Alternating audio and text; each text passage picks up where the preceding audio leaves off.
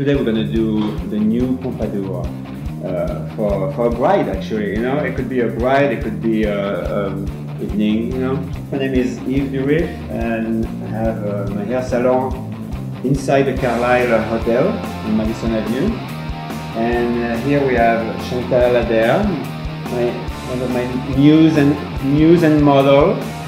And um, uh, Chantal has all kind of lengths in her hair. You know, she, she's detailing her short, growing, lots of bleach, lots of. Um, but you know, I, I like the hair like this because when, when the hair is bleached, it becomes like a almost like a, a, a play-doh, you know.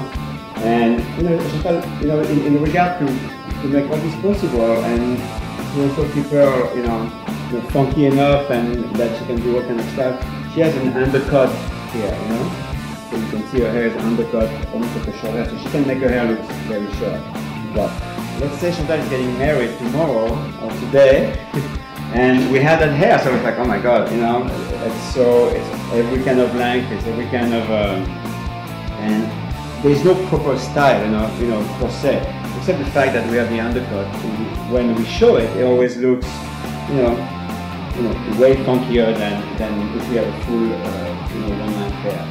So what I did, I, I just, uh, I just curled with the curling iron this morning, and I'm gonna do like, I, I don't know, these days I'm really into, uh, into the pompadour look, you know. Uh, in French, pompadour, in English, pompadour. this is the same. Uh, you know, and uh, I, I like the, I like the idea of the pompadour even on short hair. You know that I think we're going back to that in a bit of a.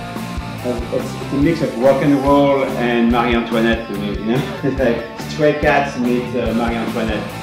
So you know, Stray Cats is also one of my favorite uh, bands in the, in the 70s. So the hairs prepare very, uh, you know, I, I, re I recut a little bit the, you know, the undercut. I love the idea that uh, there's still some blonde on the end, you know. We wanted to do the color uh, yesterday. Mm, let's not do the color. It's great. I, I love, I love hair like this. I wish we could do hair. It looks exactly like this they have the color, but generally speaking, it's not happening. So here we go. So the hair is being prepared with a curling iron. uh, you know, just to create a nice texture. And now we're gonna tease it. Like in the old days. The good thing of not being a junior stylist is that you really know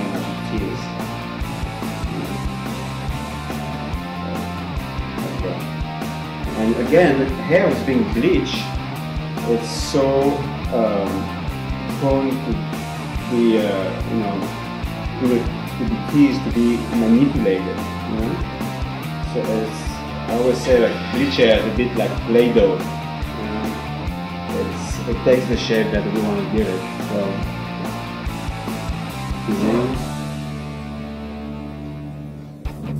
So, so as you can see, the hair really react promptly to the teasing, and I don't have to tease too too much actually, you know. I'm using a hairspray from uh, Phyto. You have to be too too. Uh, and it's a hairspray was uh, is made with a fibrin of silk, so it's not damaging to the hair. It's actually it's actually pretty good to the hair. To have a hairspray and not damaging. It usually doesn't go together, you know. But in this case. So here we're doing it on the back as some kind of a French twist. So here I'm, I'm taking taking the back. I don't want any volume right here. So it's almost doing like a little uh, stitching, you know? See? And then that's where the, volume can use on the top, you know? And I want to leave the ends kind of free of, you know, the whole idea is to keep some free hands. You see, even if the hair is pretty short on the front, you can have these effects of long hair. The hair is not really long. Now I'm using a hairspray is a little stronger, you know, because I don't want the hair to collapse on the front. Okay, and that's from Phyto also. I believe it's. The walkable holding. I usually know the name in French. See wherever, where, you know, wherever I put the hair, it basically stays, you know.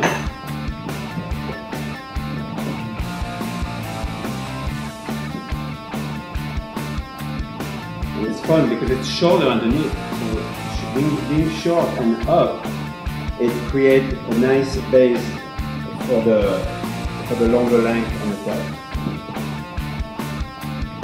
It's nice when I have a sideway mirror so I can see you can see what's going on.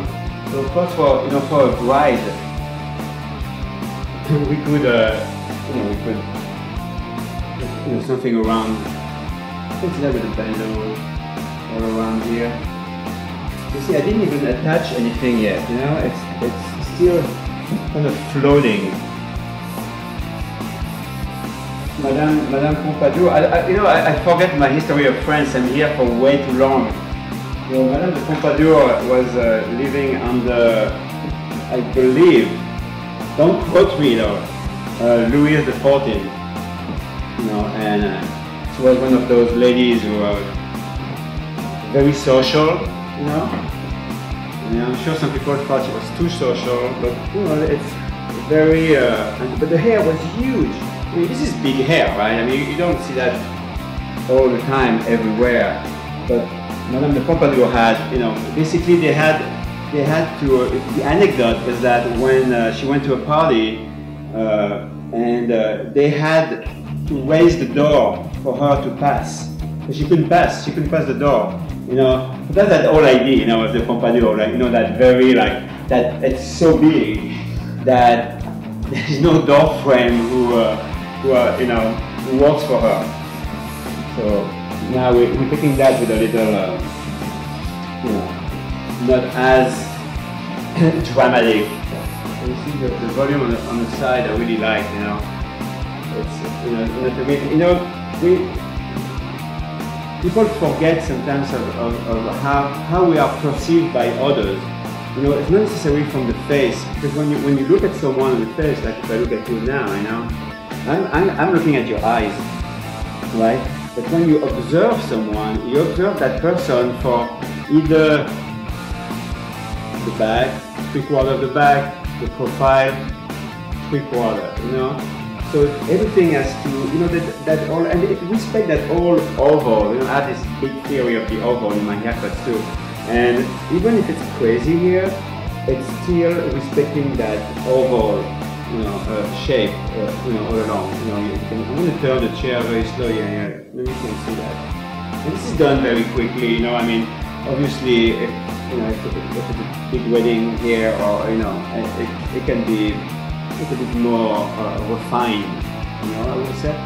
But on the other hand, I like when we don't have much time because I think hair looks more like alive and, and it looks more like it's being instinctive, you know versus prepare too long in advance. You, know. you can uh, you know, accessorize with, uh, with, with, anything. You know, for example, uh,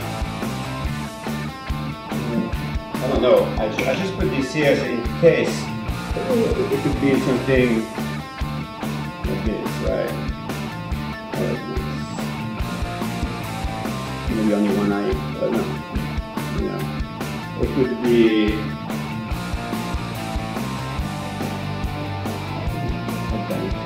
New headband putting on the front, way on the front like this, it's very pretty. And people are fancy that headband only goes on the top. That's kind of like a little lame. Voila, and you see the, the back is fun. You know, maybe we could put some either jewelry here, or just hanging jewelry maybe. Why not? Pearls, um, diamonds. Well, I think Chantal is ready now to uh, either go to a you know party, getting married, or grocery shopping. No, it was so nice to be with you here this morning, and uh, I'm Yves Durif at the Carlyle Hotel in New York City. Thank you so much. Have a great day.